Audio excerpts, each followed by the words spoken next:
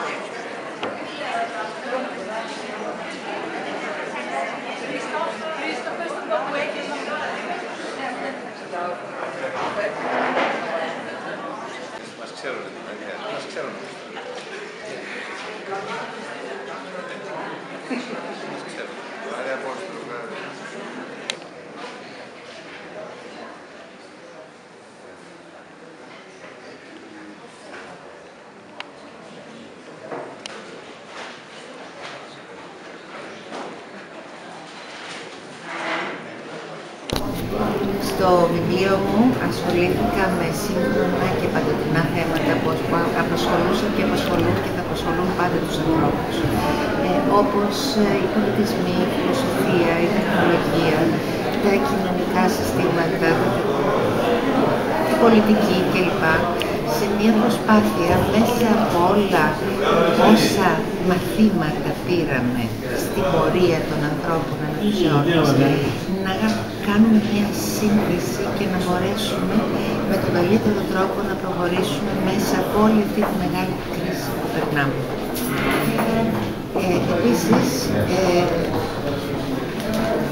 δίνει την ευκαιρία να σκεφτούμε αυτό το βιβλίο, αυτά που θαυμάζουμε, αυτά που σεβόμαστε, γιατί επιτέλους ήρθε η ώρα να αρχίσουμε να τα εφαρμόσουμε στην καθημερινότητά μας, κάνοντας ένα καινούριο άνοιγμα.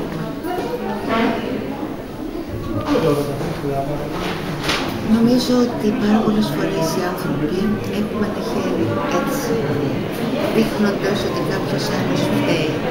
Αυτό που είναι σημαντικό είναι να δούμε ότι συνδημιουργούμε την πραγματικότητα και ότι ο ένας μετά τον άλλον μπορούμε να κάνουμε τη διαφορά.